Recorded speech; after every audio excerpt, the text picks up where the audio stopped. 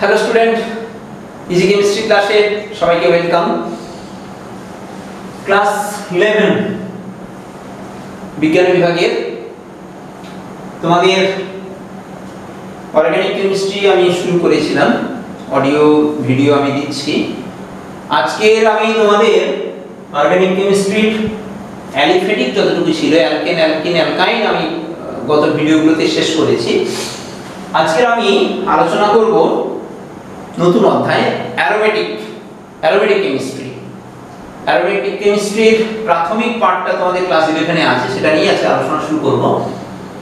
Aromatic কেমিস্ট্রির aromatic যৌগ।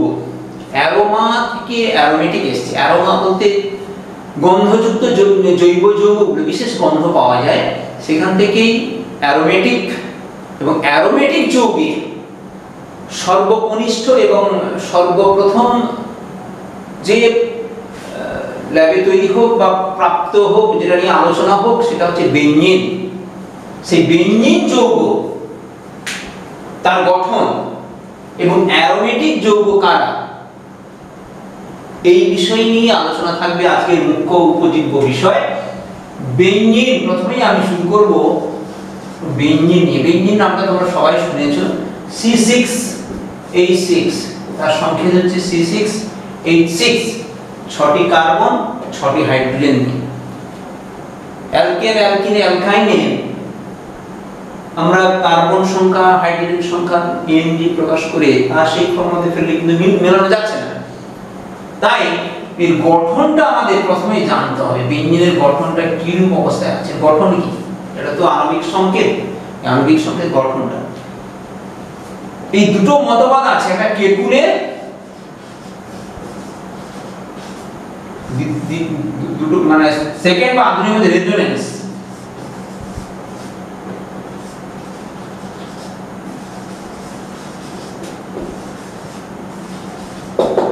মতবাদ আর রেজোনেন্স মতবাদ।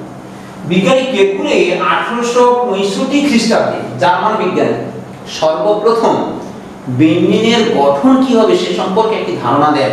তার মধ্যে অনেক ত্রুটি ছিল। পরবর্তীকালে রেজোনেন্স মতবাদ সংশোধন করেছে।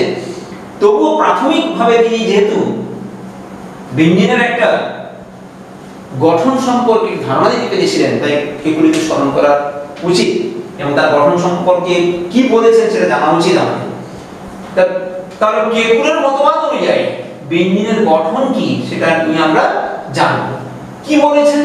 না কেকুলে বলেছেন বেঞ্জিনের ছটি কার্বন এবং ছটি হাইড্রোজেন সমন্বিত যে জৈব যৌগ, সেখানে বেঞ্জিন একটি সাইক্লিক বা চক্রীয় একটি সাইক্লিক?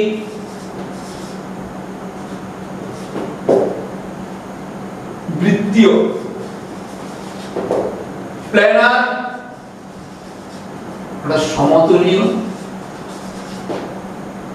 এবং বৃত্তীয় প্ল্যানার এবং ছটি যে কার্বন আছে ছটি কার্বন প্রত্যেকটি অল্টারনেটিভ একটা থেকে আরেকটির এক বন্ধন, দ্বিবন্ধন রূপে তারা যুক্ত হয়ে আছে এবং প্রতিটি কার্বনে একটি করে হাইড্রোজেন আছে। সাইক্লিক তাহলে ছটা কার্বন যদি সাইক্লিক হয়, ছটাকে তাহলে সাইক্লিক আকারে লিখতে হয়। প্ল্যানার একই প্লেনে আছে। আর কি? প্রত্যেকটি কার্বন পরমাণু, একটি কার্বন পরমাণু, আরেকটি কার্বন পরমাণুর সঙ্গে অল্টারনেটিভ বা ক্রমিক এক বন্ধন, দ্বিবন্ধন, এক বন্ধন, দ্বিবন্ধন, এক বন্ধন, দ্বিবন্ধন, এক বন্ধন, দ্বিবন্ধন, এক বন্ধন, দ্বিবন্ধন দ্বারা যুক্ত। প্রতিটি কার্বন পরমাণুর সঙ্গে একটি করে হাইড্রোজেন পরমাণু সমযোজী বন্ধনে আবদ্ধ। তাহলে সাইক্লিক একই প্লেনার এবং অল্টারনেটিভ কার্বন হাইড্রোজেন বন্ধন দ্বারা যুক্ত হয়ে আছে। এইরূপ যে গঠন, সেটা হচ্ছে বেঞ্জিন C6H6 সেখানে কার্বন কার্বন বন্ধন দূরত্ব 1.39 আর্মস্ট্রং কার্বন হাইড্রোজেন বন্ধন দূরত্ব কার্বন 1.09 আর্মস্ট্রং এবং কার্বন কার্বন কার্বন কার্বন বন্ধন কোণ বা কার্বন কার্বন কার্বন বা কার্বন কার্বন হাইড্রোজেন, এই বন্ধন কোণ কত হচ্ছে? 120 ডিগ্রি। এটা পরীক্ষা দ্বারা প্রমাণিত। এটা হচ্ছে আপাতত কে- কেকুলের মতবাদ পরবর্তীকালে বিজ্ঞানী কেকুলে নিজেকে সংশোধন করে বললেন যে না, এই যে এক বন্ধন নিবন্ধন এক বন্ধন নিবন্ধন এক বন্ধন নিবন্ধন এটা শুধুমাত্র স্থির নয় এটি চক্রাকারে আবর্তিত হয়। অর্থাৎ পাই ইলেকট্রনগুলো এগুলোতে একটা এগুলো সব বন্ধন। এই পাই ইলেকট্রনগুলো একটি জায়গায় আবদ্ধ না থেকে এরা চক্রাকারে আবর্তিত হয়। কিন্তু একটা বিষয় সম্বন্ধে বিজ্ঞানী কেকুলে সঠিক সিদ্ধান্ত জানাতে পারেননি। কি? না কার্বন কার্বন দ্বিবন্ধন আর কার্বন কার্বন এক বন্ধন। এক বন্ধন, এক বন্ধনে, এক বন্ধন, এক বন্ধনের বন্ধন দূরত্ব হচ্ছে 1.54 আর্মস্ট্রং আর কার্বন কার্বন দ্বিবন্ধন যদি হয় কার্বন কার্বন দ্বিবন্ধন হচ্ছে 1.34 one point five two angstrom one four three কিন্তু বেঞ্জিনে দেখতে পাচ্ছি। কিন্তু বেঞ্জিনে কি?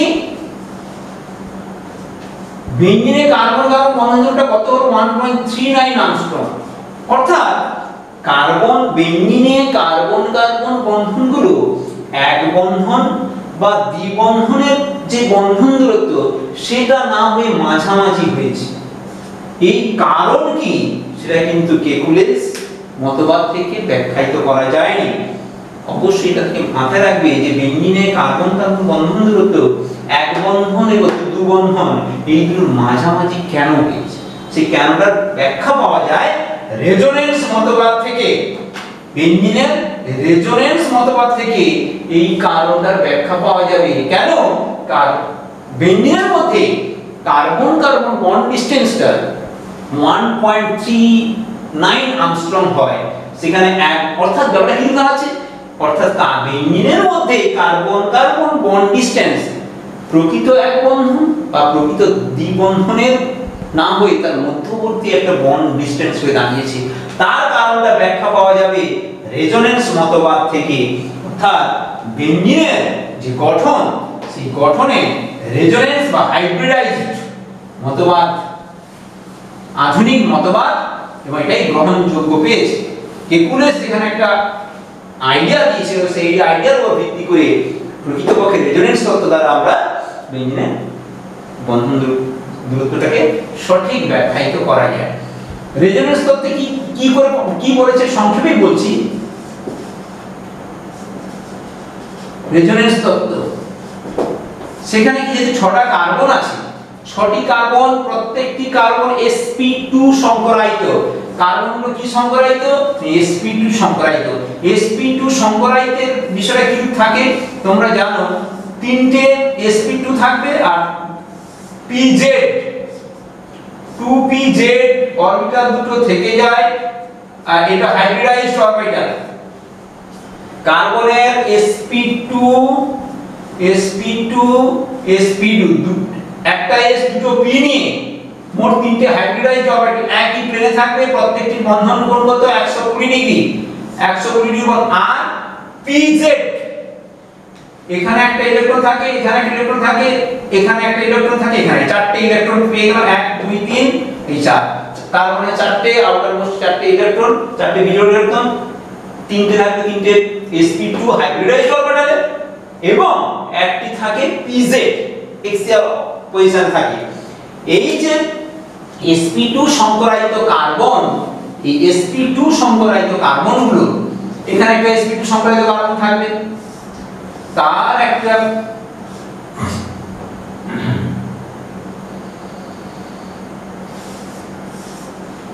একটা দিয়ে বোঝার চেষ্টা করো, বোঝানোর, বোঝার চেষ্টা করো। এই sp2 এর সঙ্গে এই sp2 এর ওভারল্যাপ হলো। মাথায় মধ্যে ওভারল্যাপ একটা সিগমা বন্ড তৈরি হলো। এই sp2 এর একটা হাইড্রোজেন হাইড্রোজেনের যে s থাকে, এটা ওভারল্যাপ হলো। এখানে সিগমা বন্ড তৈরি হলো। এই sp2 এর সঙ্গে আরও একটি কার্বনের sp2 কি হলো?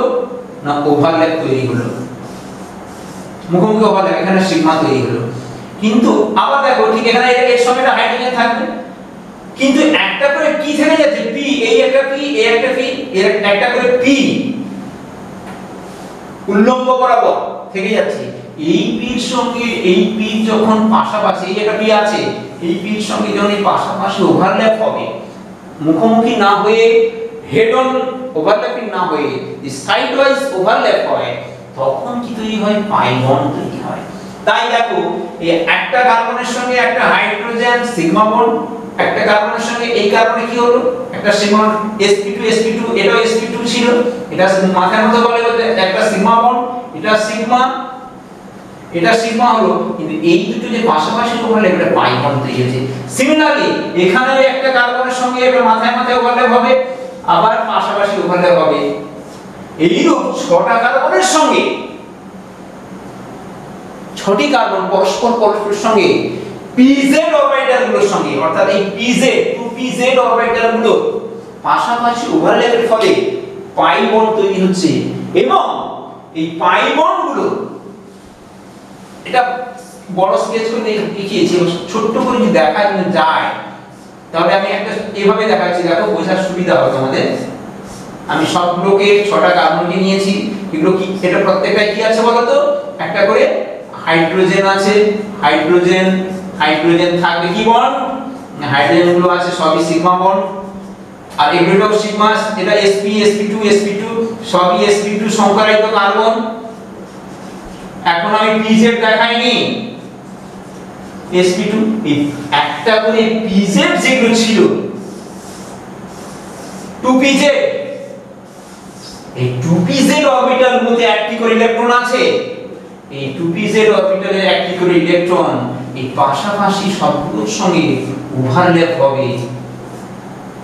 ফলস্বরূপ কি? নিচে আসবে। ফলস্বরূপ কি হচ্ছে? না P two P two P গুলো প্রত্যেকটির সঙ্গে, অর্থাৎ এখানে মোট যে কতগুলো কতগুলো টু পি সেটে পাই ইলেকট্রন কতগুলো ছিল? ছটি পাই ইলেকট্রন। ছটি পাই ই পাশাপাশি ওভারল্যাপ হয়ে ডিলোকালাইজড বা সঞ্চরণশীল হচ্ছে। কেকুলে যেটা বলেছিল যে ফিক্সড হয়ে যাচ্ছে দ্বিবন্ধনগুলো? সেটা কিন্তু এখানে নয়। দ্বিবন্ধনগুলো ফিক্সড না হয়ে দ্বিবন্ধনগুলো কিন্তু অনবরত ছটি কার্বনের উপর আবর্তিত হচ্ছে, উপরে এবং নিচে। তাই বেঞ্জিনের যে ছোট্ট করে যদি আমরা স্কেলিটন স্ট্রাকচার দেখাই, এই ছটি কার্বনের হাইড্রোজেন আছে, উপরে একটি ইলেকট্রনের মেঘ এবং নিচে একটি ইলেকট্রনের মেঘ। পাই পাই আর পাই ইলেকট্রন ক্লাউড বলা হয়। পাই ইলেকট্রন ক্লাউড তৈরি হচ্ছে। উপরে একটি পাই ইলেকট্রনের ক্লাউড নিচেও একটি পাই ইলেকট্রনের ক্লাউড কেন এটা তো এক্সিয়াল বরাবর উল্লম্ব বরাবর আছে? এটা এই ছটি কার্বন একটা সমতলে আছে। সেই সমতলের উপরে এই সিগমা বন্ড এই সরি এই PZ orbital two PZ orbital আছে, তার একটা অংশ, আর নিচে আছে টু পিজেড সেগুলো যদি পাশাপাশি ওভারল্যাপ হয়ে যায়। তাহলে এইরকম একটা উপরে একটা ইলেকট্রনের মেঘ পাবো, ঠিক নিচে একটা ইলেকট্রনের মেঘ পাবো। বেঞ্জিন তাই বেঞ্জিনকে বলা হয় ইলেকট্রন সমৃদ্ধ একটি বলয়।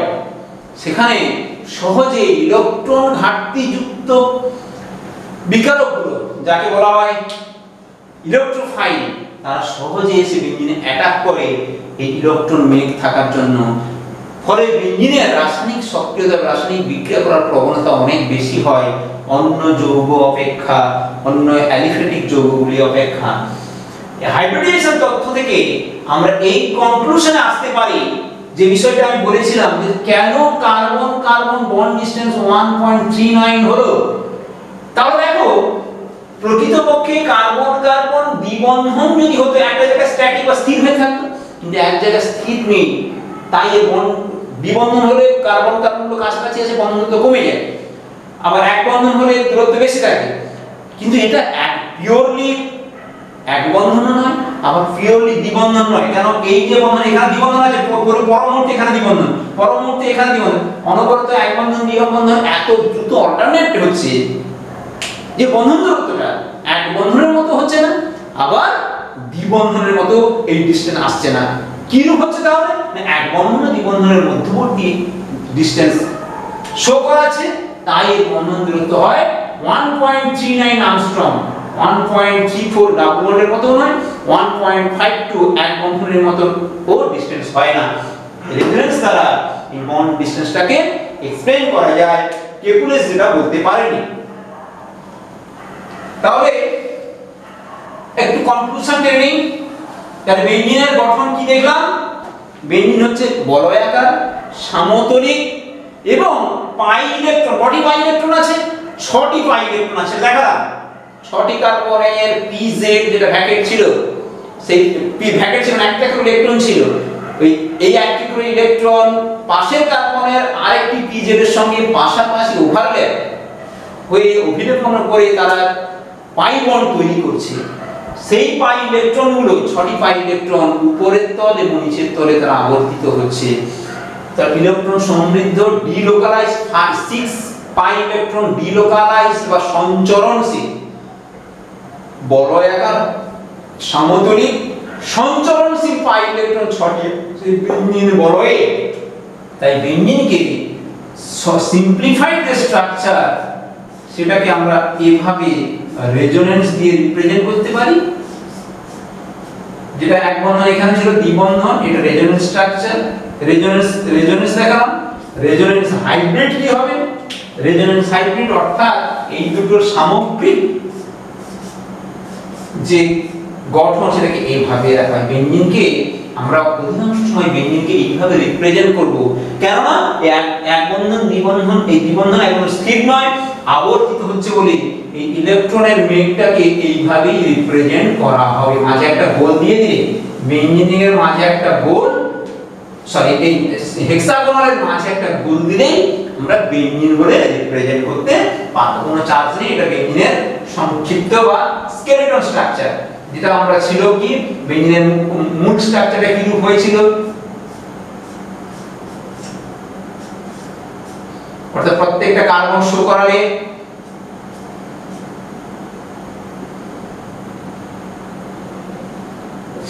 আর প্রত্যেকটাতে একটি করে কি আছে? হাইড্রোজেন আছে, ছটি হাইড্রোজেন ছটা কার্বন, এটা এটা থেকে তার পি গঠন, এটা থেকে রেজোনেন্স এটা হচ্ছে, এটা রেজোনেন্স হাইব্রিড এটা হচ্ছে বেঞ্জিনের গঠন। কেকুলে তার মডিফাইড হাইব্রিডাইজ সবগুলো কিছুটা সংক্ষিপ্ত আকারে দেখানোর চেষ্টা করলাম। তাহলে বেঞ্জিনের গঠনটা আশা করি তোমরা বুঝতে পেরেছ। ইলেকট্রন সমৃদ্ধ অঞ্চল, বড় বলয়াকার সমতলিক এটুকু মনে রাখবে। এরপরে আজকের আরেকটি পয়েন্ট নিয়ে আলোচনা করে আজকের আলোচনা আমি শেষ করব। অ্যারোমেটিসিটি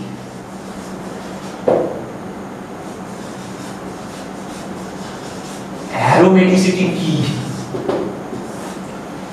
অ্যারোমেটিক যৌগ বলতে একসময় ধারণা ছিল, বেঞ্জিন এবং বেঞ্জিন বলয় নিয়ে গঠিত যে যৌগগুলো, সেগুলো হচ্ছে অ্যারোমেটিক কিন্তু পরবর্তীকালে অ্যারোমেটিক যৌগের তার যে ফ্যামিলি সেই ধারণাটাকে বিস্তৃত করা হয়েছে। বিজ্ঞানী হুকেল। হুকেলের নীতি অনুযায়ী বলা হচ্ছে অ্যারোমেটিসিটি বা অ্যারোমেটিক যৌগ তারাই হবে। কারা না যারা হবে বৃত্তীয়? দুই, সমতলিক। তিন four n plus two, four n plus two সংখ্যক ডিলোকালাইজড পাই ইলেকট্রন থাকবে, সঞ্চরণশীল।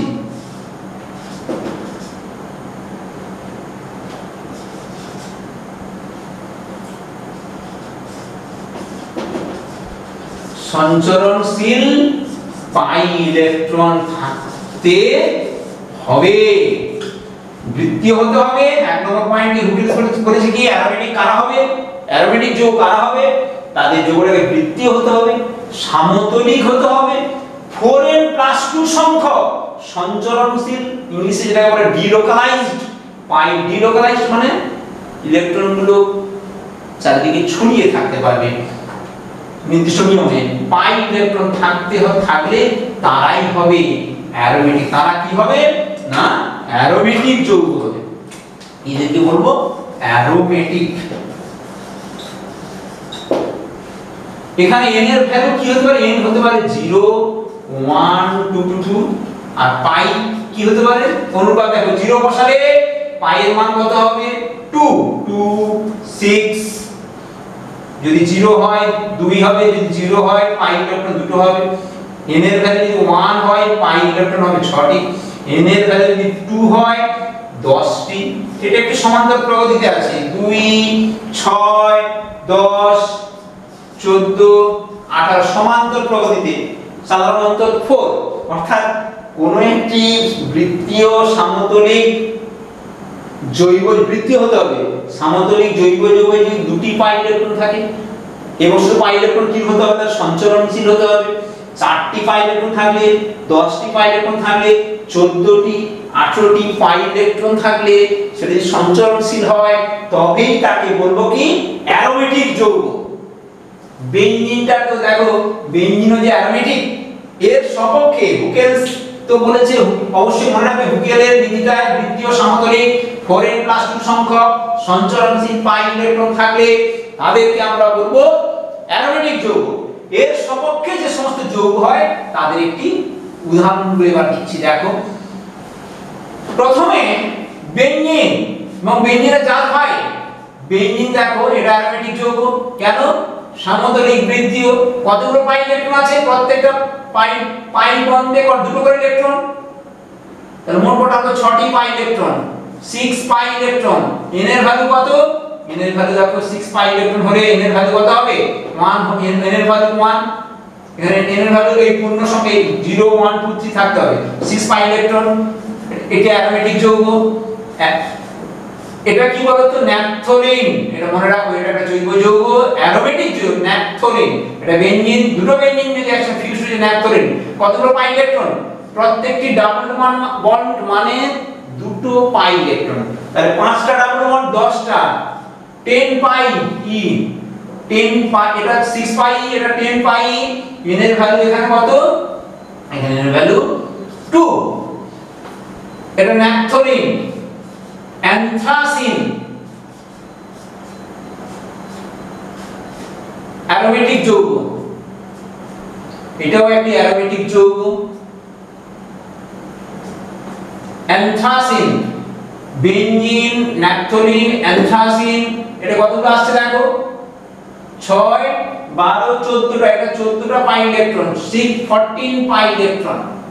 14 pi electron, n এর ভ্যালু 3 এগুলো সবই এগুলো সবই অ্যারোমেটিক আর এটা মোটামুটি দেখলেই বুঝতে পারবে স্যার। এটা তো সব বেঞ্জিন আছে বেঞ্জিনের জাত ভাই সমান অ্যারোমেটিক হবে। এইবার যাদের দিচ্ছি, সেটা একটু বোঝার চেষ্টা করো। তারাও অ্যারোমেটিক যৌগ। হেটেরোসাইক্লিক হেটেরো সাইক্লিক হেটেরোসাইক্লিক কাকে বলব?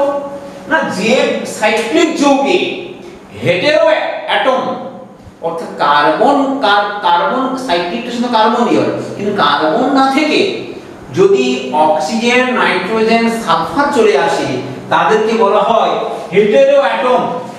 এই হেটেরো অ্যাটম সমন্বিত জৈব যৌগ সমন্বিত জৈব যৌগগুলোকে যদি জৈব যৌগগুলো অ্যারোমেটিক হয়, উদাহরণ, এক প্রথমেই পিরিডিন নামটা তোমরা শুনে থাকতে পারো, এই নাইট্রোজেন অর্থাৎ এই কার্বন কার্বন পাঁচটা কার্বন নাইট্রোজেন আছে।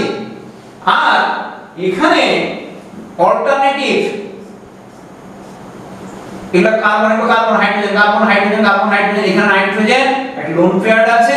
এই লোন পেয়ারগুলো পার্টিসিপেট করার রেজোনেন্সে এই রেজোনেন্সে হাইব্রিড যদি দেখানো হয়, এই রেজোনেন্স হাইব্রিড হয় ছটি কার্বন তো রেজোনেন্সে আছে। সাইক্লিক এটা পিরিডিন এটা অ্যারোমেটিক কেন 6 পাই 6 পাই ইলেকট্রন 6 পাই ইলেকট্রন আছে। এই ছটি পা যে সমতলিক হয়, বৃত্তীয় এবং ছটি পাই ইলেকট্রনের মধ্যে আবর্তিত হয়। পিরিডিনও একটি হেটেরোসাইক্লিক অ্যারোমেটিক যৌগ। পিরিডিনের পর এখানে দেখো একটা পিরোল। একে বলে পিরোল বলা হয়। এখানে একটা হাইড্রোজেন আছে। এটাও সাইক্লিক এখানে হাইড্রোজেন লোন পেয়ার আছে। এই লোন পেয়ার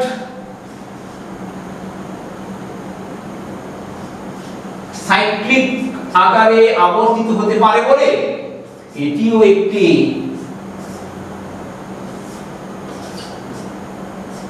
এখানে পাই ইলেকট্রনের সংখ্যা। এখানে এই লোন পেয়ারটা কিন্তু পাই ইলেকট্রনটাই কিন্তু ডিলোকালাইজড বা সঞ্চরণশীল হচ্ছে। এটাকে বলে পিরোল এটাও অ্যারোমেটিক জৈব। এই 6 পাই ইলেকট্রন সিস্টেম এটা ছটা পাই ইলেকট্রন সিস্টেম এটাও অ্যারোমেটিক যৌগ পিরোলও অ্যারোমেটিক যৌগ এইখানে যদি নাইট্রোজেনের জায়গায় যদি অক্সিজেন চলে আসে, একে বলে ফিউরান এ কি বলে ফিউরান এই যৌগটা ফিউরান হাইড্রোজেন থাকবে না, দুটো লোন পেয়ার আছে অক্সিজেনের এর নাম হচ্ছে ফিউরান এস থাকবে থায়োফেন থায়োফেন এটাও একটা অ্যারোমেটিক যৌগ, একটা পাই ইলেকট্রন রেজোনেন্সে পার্টিসিপেট করবে। অক্সিজেন এটাও একটা এরূপ অবস্থায় থাকলে পিরোলো ফিউরান ফিউরানও কি? অ্যারোমেটিক যৌগ। পিরিডিন ফিউরান পিরোল থায়োফেন এই হেটেরোসাইক্লিক যৌগগুলোকে অ্যারোমেটিক যৌগ বলা হয়। কেননা এরাও সাইক্লিক সমতলিক এবং ডিলোকালাইজড হুকেলস নাম্বার হুকেলস সংখ্যক বা হুকেলস নাম্বার পাই ইলেকট্রন আছে। Pi electron Huckel's number pi electron কি কি থাকতে হবে? বৃত্তীয় সাইক্লিক এবং তাতে পাই ইলেকট্রন সংখ্যা 2 6 10 14 18 এই সংখ্যক যদি ডিলোকালাইজড পাই ইলেকট্রন থাকে, তাদেরকে আমরা অ্যারোমেটিক বলতে পারি। এইবার দেখো একটু বিশেষ লক্ষণীয় বিষয় সাইক্লিক আয়ন সাইক্লিক আয়ন যাকে আমরা অ্যারোমেটিক বলছি। কিন্তু প্রকৃতপক্ষে অ্যারোমেটিক যৌগ হিসেবে আমরা যে পরিচিত বেঞ্জিন থাকলে তা নেই, কিন্তু অ্যারোমেটিক কার নীতি অনুযায়ী বা কার তত্ত্ব অনুযায়ী না হুকেলস তত্ত্ব অনুযায়ী তারা অ্যারোমেটিক বলা হবে। কারণ অ্যারোমেটিক এই কথাটাকে বিবর্ধিত বা বাড়ানো হয়েছে হুকেলসের নীতিকে যারা মেনে চলছে? এই একটা যৌগ সাইক্লো সাইক্লিক প্রোপিন তাই তো? সাইক্লিক প্রোপিন এটা যদি ক্যাটায়ন এখানে প্রত্যেকটা কি আছে বলো তো এখানে কি একটা হাইড্রোজেন এখানে কটা হাইড্রোজেন দুটো হাইড্রোজেন একটা প্রথমেই গঠনটা দিতে হবে, বুঝতে সুবিধা হবে এটা ছিল তো? এই হাইড্রোজেন লেখা হচ্ছে সাইক্লিক প্রোপিন একটা হাইড্রোজেন এই একটা হাইড্রোজেন বেরিয়ে গিয়ে প্লাস হয়ে গেল। সাইক্লোপ্রোপিনাইল ক্যাটায়ন নাম কি? সাইক্লোপ্রোপিনাইল ক্যাটায়ন সাইক্লোপ্রোপিনাইল ক্যাটায়ন ও রেজোনেন্স করতে পারে।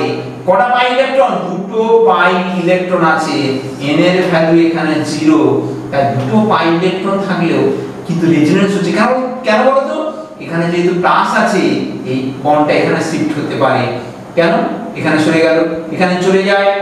পরের স্টেপ পরের রেজোনেন্সটা কি? একটা রেজোনেন্স দেখায়। রেজোনেন্স হলে এই চিহ্ন হবে না। এটা চলে যায় এখানে প্লাস হয়ে যাচ্ছে। এখানে নিবন্ধন আবার রেজোনেন্স দেখালাম। এইখানে চলে গেল। তাহলে এই এই প্লাসটাকে স্যাটিসফাই করার জন্য একটা দেখাচ্ছি, সব দেখানো সম্ভব নয়। আবার এখানে প্লাস হয়ে যাচ্ছে, দ্বিবন্ধন চলে যাচ্ছে এভাবে এই প্লাসকে এই প্লাস কার্বনকে, এই পাই ইলেকট্রনটা আবর্তিত হয়ে রেজোনেন্স হাইব্রিড রূপে এই রূপ অবস্থান করছে। এই এই দেখো এভাবে সাইক্লিক হচ্ছে প্লাস দিচ্ছি কেন বলতো?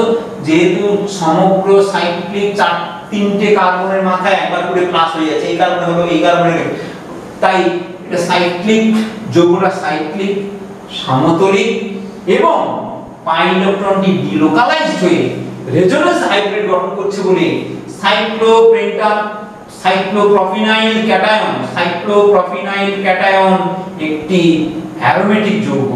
আরও একটি দেখো, সাইক্লো, এক নম্বর সাইক্লোপ্রোপিনাইল ক্যাটায়ন হলো। আবার একটা যৌগ দেখো। এটা কি? সাইক্লো পেন্টাডাইনাইল অ্যানায়ন যদি হয়, অর্থাৎ এখানে এক জোড়া ইলেকট্রন আছে সাইক্লোপেন্টাডাইনাইল অ্যানায়ন, এটিও একটি জয়েন্টে বিশেষ করে থাকে, এটিও একটি অ্যারোমেটিক যৌগ, এখানে 6 পাই ইলেকট্রন এটাও রেজোনেন্স দ্বারা স্থায়িত্ব লাভ করতে পারে। কেন? না, এই পাই ইলেকট্রন এখানে এলো, এই বন্ধনটা এখানে শিফট হলো। একটা রেজোনেন্স দেখায়। তাহলে এই বন্ধন ডাইইনাইল অ্যানায়ন সাইক্লোপেন্টা ডাইনাইল অ্যানায়ন এখানে কিন্তু ইলেকট্রন জোড়া, একটা হাইড্রোজেন ইলেকট্রন না নিয়ে হাইড্রোজেন ত্যাগ করে গিয়ে ইলেকট্রন আসে। যে 6 পাই ইলেকট্রন সিস্টেম যেখানে n এর ভ্যালু 1 ইও রেজোনেন্স দ্বারা স্থায়িত্ব লাভ করে এভাবে রেজোনেন্স হাইব্রিড তৈরি করতে পারে।